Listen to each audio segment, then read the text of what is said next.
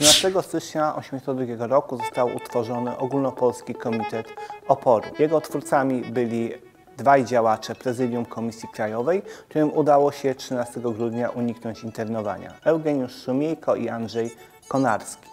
W ich zamyśle y, oko miało być strukturą ogólnopolską, która by koordynowała działalność y, podziemną w kraju. Nie mieli oni pretensji, aby być władzą e, związku, uznając, że związek może być reprezentowany tylko przez Lecha Wałęsę i prezydium Komisji Krajowej. Podjęli oni próbę utworzenia ugrupowania ogólnopolskiego, które miało być podzielone na cztery okręgi.